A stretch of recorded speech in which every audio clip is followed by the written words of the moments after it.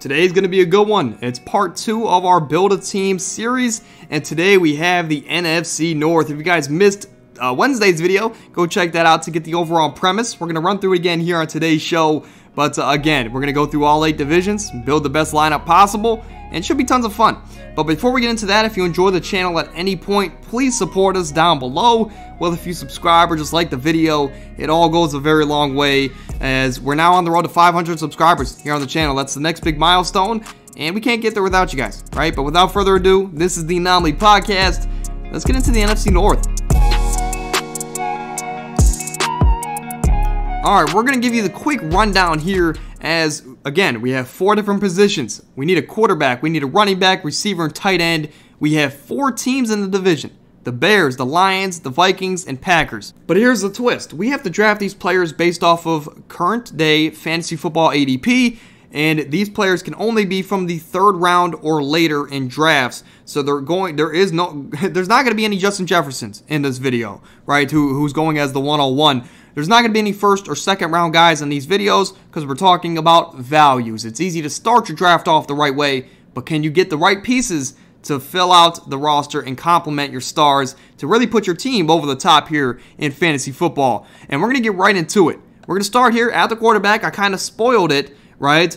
But no doubt, Justin Fields is going to be the way here for the Chicago Bears. Another guy I contemplated was DJ Moore, right? A guy they traded for this offseason. You can get him in the fifth round, and he's going to be the number one wide receiver in, in hopefully a, a more pass happy offense. And then another guy in Darnell Mooney, right? If you don't believe in DJ Moore, go out there and get Darnell Mooney in the 11th round, right? So I think it's definitely worth a flyer of a shot to grab a Darnell or DJ Moore here in 2023. But to me, the best overall value for the Chicago Bears and for this division was going with Justin Fields at the quarterback position. He's a top 10 fantasy quarterback for me right now. No shocker there, right? I've seen guys have him as top, uh, as far as top two, right? As high as top two, top three. I'm not that crazy. I have him more so with the, the 7 to 10 range. But this is a guy that ran for 1,100 yards and eight touchdowns last year, averaging a league high 7 yards per carry at the quarterback position in week 9 of last year against the Dolphins. This is a guy that ran for 178 yards and one touchdown, breaking the single game rushing record for a quarterback. no, no biggie, right? Then in week 10, the next week, he runs for 150 yards and another two touchdowns. Again, people, this is a quarterback doing numbers like this. This this isn't often, right? We don't we don't see this often. Uh, I don't even know if Lamar Jackson had back-to-back weeks of that dominance on the ground at the quarterback position. But there's no doubt we want to see a major improvement in the passing production for Justin Fields. But he, he was the quarterback six last year with playing two less games, a terrible O line, and no receiving group to throw to, right? So imagine what he, get, what he can do with DJ Moore in town now, with an improved O line and more confidence to push the ball down the field.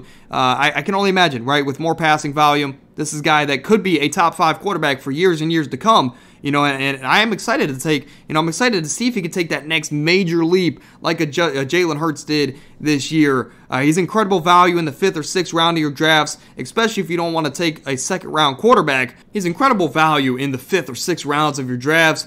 And to be completely honest, he was really the only option for the Chicago Bears here because I don't really care for any of the other values for these other players on the team. But Justin Fields, I'm not complaining. He's the quarterback for the NFC North. Moving over to the running back position, I'm going to go with Jahmyr Gibbs, the rookie out of Alabama. Some other guys I contemplated for the Detroit Lions were David Montgomery, right? Monty, I love Monty. Uh, you can get him in the seventh round, and I think Monty's going to have double digit touchdowns this year. So he was definitely a close running for this pick, as he's definitely more of a value than Jahmyr Gibbs. But Jahmyr Gibbs has more upside, and that's the only reason I'm going with Jahmyr Gibbs here.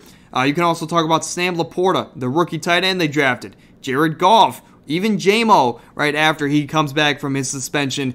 But I'm going to talk about Jahmyr Gibbs as he's maybe probably the most surprising pick of the first round of the, of the real life NFL draft because he was drafted with the 12th pick in the first round, right? So the draft capital is there with him. The team wants to use him from day one, and all reports say that Detroit wants to use him in a multitude of ways. Sometimes at receiver, sometimes at running back, they're going to use him and, and they're going to use uh, utilize him to his fullest potential. Uh, but now, this team did bring in David Montgomery, as I mentioned, and that does limit the upside of Jahmyr Gibbs because Monty's probably going to have double digit touchdowns on the ground. He's going to have all the goal line work like Jamaal Williams did last year.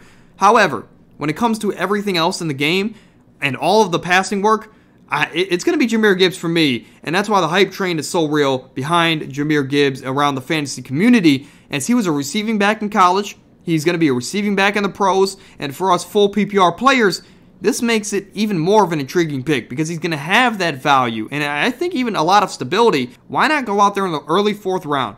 Draft of value in Jahmyr Gibbs, and he's a guy that could really be a top 10 running back and take your team over the top, right? These are the shots you have to take in fantasy football. If it misses and misses, you still have three stable top three picks.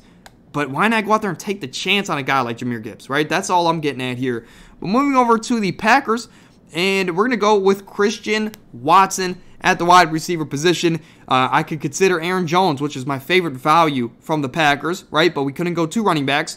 Um, and we can go with A.J. Dillon even, or even Romeo Doubs.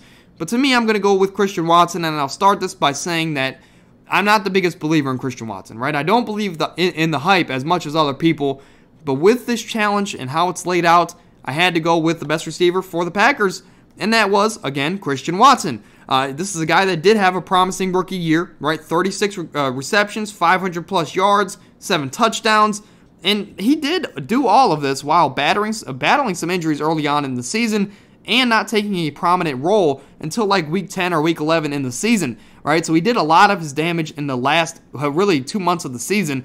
Um, and, and he's going to go from a Hall of Fame quarterback in Aaron Rodgers to first year starter in Jordan Love, right? We know that.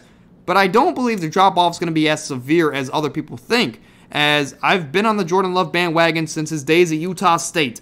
I believe in the talent. I believe what he can do at the highest level especially to me, if he sat behind Aaron Rodgers for three years, he's going to be sharper than we all think. Now, since I do believe in Jordan Love, and I do think he's going to be successful, he has to be successful through the air throwing to someone, right? And the number one in this offense is Christian Watson. It should be an interesting year in Green Bay, but I think definitely if you want to take the mid mid fourth round shot on a guy like Christian Watson, it's not a bad route to go, eh, you know, in all honesty. And we're going to finish off here at the tight end position with TJ Hockenson, the tight end three, or I think tight end two of last year. But this is a guy that, to me, I mean, you could consider Alexander Mattison, Jordan Addison, which is a guy I've been high on all offseason. But again, with the, how the challenge has been laid out, it, it just made the most sense to go with the best tight end in the division, which was TJ Hockenson. But uh, Kirk Cousins, KJ Osborn are other guys that are values on this Minnesota team. But let's dive into uh, TJ Hockenson. as in seven games with the Lions last year, before the trade deadline, he was only averaging six targets a game, and he only had 26 total receptions in those seven games. After he was traded to his division uh, opponent, right, his division foe, the Minnesota Vikings, Hockenson's numbers jumped up. He averaged eight and a half targets a game, and he had 60 receptions in the final 10 games of the year, all of those games, of course, with the Minnesota Vikings. Uh, not to mention, Adam Thielen is gone, and so is Dalvin Cook, right? So there's going to be 163 open targets in this offense. He now has to compete with a rookie receiver in Jordan Addison, so there's no promise Jordan Addison is ready from day one. So if he has rookie growing pains, you know, or isn't what I think he can be at the pro level, there's even more upside for TJ Hockenson to get 40 plus more receptions for this Minnesota offense and really be in the conversation for tight end one uh, up there with Travis Kelce. But I mean, this is a guy that's that's only entering his age 26 season. He's in the middle of his prime, and he's going to be a top three option this year at the tight end position. So if you can get him in the fifth round of your drafts, he's an absolute steal of a pick to get that positional advantage on a week to week basis for your teams going forward. So I mean, hey, if you start with two running backs, two receivers, or you know any combination of the two, or maybe even if you grab a quarterback, why not go out there and grab TJ Hockenson? You know, finish off your drafts drafting Kirk Cousins, right? And then go from there, right? To maybe get a stack on any week to week basis. But that is going to do it for today's show. We're going to recap here. Our quarterback for the NFC North, based off of draft value, is going to be Justin Fields. The running back is going to be Jahmyr Gibbs.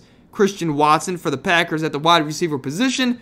And our tight end is T.J. Hockenson. Uh, I mean, this team has upside, upside, upside. That is the that is the motto of this team, and uh, it, it's a lot less stable than the AFC North, right? But I think it has pretty close to the same upside as the AFC North. Uh, so let me know what you guys think down below, what you do, would do differently here in this challenge.